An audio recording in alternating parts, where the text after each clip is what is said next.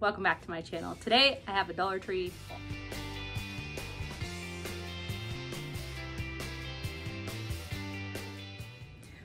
Okay, hi guys. Oh my gosh. Okay, it feels so good to be filming right now. It's been a little bit.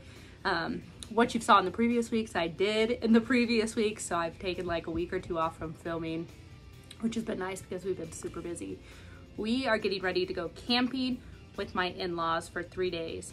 And so we have a pop-up camper and they have like a large camper, I don't know, has like a bedroom, bathroom, you know, the nice kitchen, living room area where you can actually enjoy it. We, our camper is like a glorified tent is what we say. Um, it sleeps eight of us, which is great.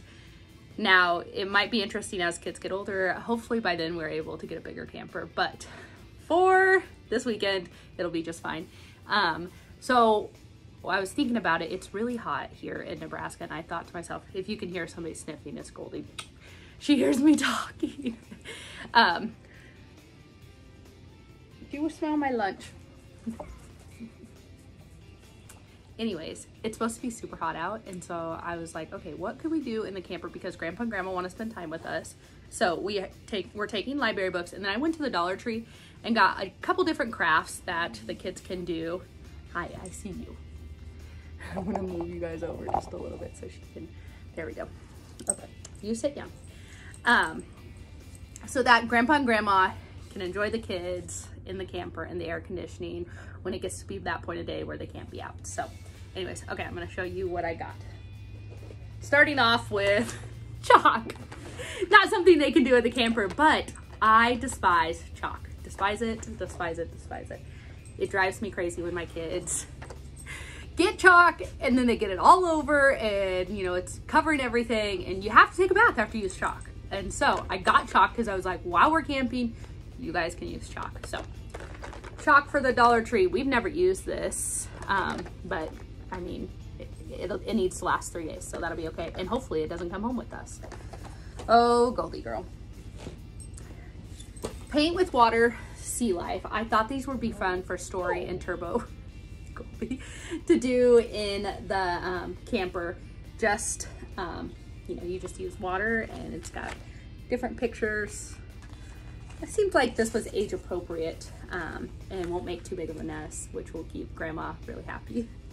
So I got this one and then I got the superhero one. Turbo will probably want the superhero one because he's totally into superheroes. Um, so that's for Story and Turbo for in the camper. And then to go along with it, I just got a set of paintbrushes. I thought that they would enjoy that rather than using like a Q-tip. You could use that or your fingers. So these two things or three things. Then I got watercolors, just two of these. Um, and they come with, oh yeah, it says brush included, one brush included. There are eight colors. Um, I got these because we have lots of craft paper and I thought we'll just take the craft paper and they can use these. Um, we have a tablecloth too that we can take so that these can kind of, um, they don't make too big of a mess, but the older girls are pretty responsible, so I think they can handle these. Then I got these Crayola sun catchers. This one is a unicorn. How cute is that? Can you see that good? Oh my goodness, so cute. So it came with red, yellow, blue, and white and a paintbrush. I bet you grandma's gonna love these because she loves anytime the kids do those little sun catchers. Uh, she loves them and she probably has them still hanging up in her kitchen window. It's been a little while since I've looked, but these are bigger. We'll see if the girls wanna give these to grandma or keep them. But so here's the unicorn one, whale one, a lion. I thought in case Turbo was interested, Atticus is definitely not going to be interested. He's going to roll his eyes and go off fishing. I'm confident of it. a llama one, Harlow. I know she's going to love this. I just, she loves all things llamas right now. We've moved on from the unicorn um, world with the eight-year-olds and up. Like they're over unicorns and now it's llamas. A fox. How cute is that? I don't know which girl will like this. Oh, that's cool. Okay, so it shows on the back here what you can do to mix the colors to get the color you want. Oh, that's neat since it only comes with red, yellow, blue, and white. Cool. That was it for those. And then I got these sparkle by number unicorn things, which I don't know how big of a hit they'll be because, you know, they're kind of over unicorns. But so it's one bag of gems for one poster. And so sparkle by number. I assume like when you open it, it'll have the numbers out etched in there and you can put the sparkles on it.